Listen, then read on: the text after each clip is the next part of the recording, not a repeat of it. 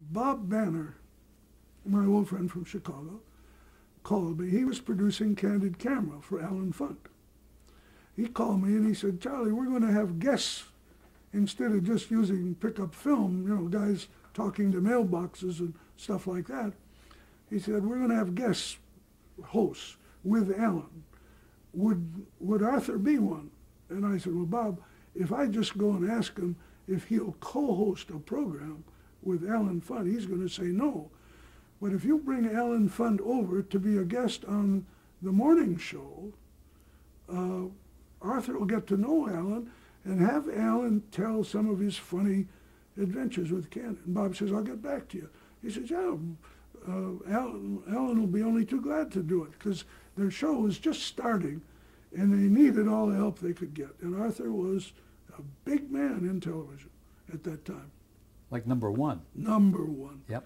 And so then I went to Arthur and I said, Arthur, uh, this guy Allen Funt's got some funny stories to tell and and uh, a guest fell out last week. I don't have anybody. And I know the producer of the show, he can bring Allen over. And I, I just got a hunch. He said, what happened to the other guest? I, well, his mother died. I don't know, I made some excuse.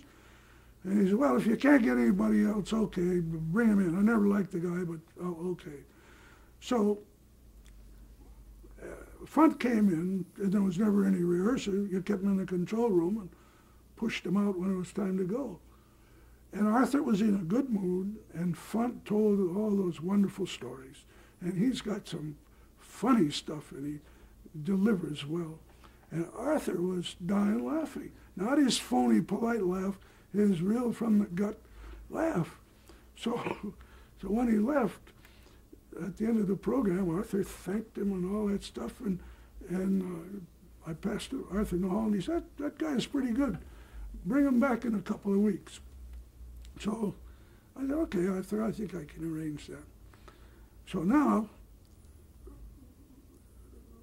Funt's guy calls the guy at CBS, and they said this was after Arthur had the lung operation, so he hadn't had a lot of extra exposure. He said, would, uh, would Arthur be the, the co-host on that? Oh, yeah, that Allen's funny. Uh, sure, I'll, I'll do it, but uh, it has to be on my way to the Teterboro when we tape it. And I can't get there till so-and-so, and I got to leave at so-and-so, but uh, I'll co-host. They were making a, a, another pilot of it, I think. So I called Bob and said, can you, Allen? uh, will he be all right with Arthur? I'll so it was agreed. Arthur went on, and he had a good time. There was some funny stuff on the show, and they were paying him a lot of money. Uh, and, and they signed a deal where Arthur would co-host the show on a regular on a regular basis. On a regular basis. Mm-hmm. So he did three shows, and he added a great deal to that program. He really he questioned question Funt, he warmed Funt up, and he was really doing good on the thing. Uh, and I used to ride over to the studio with him in his Bentley, and uh, and Arthur would we'd talk about what was going to happen on the show, stuff like that. I'd fill him in.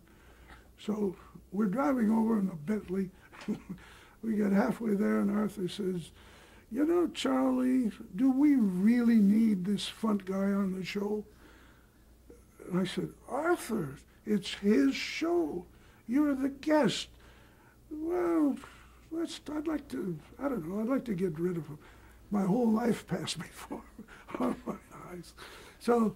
How do you answer a question like he, he settled down and understood the situation, but he quit after, uh, I think, 13 weeks. He didn't want any more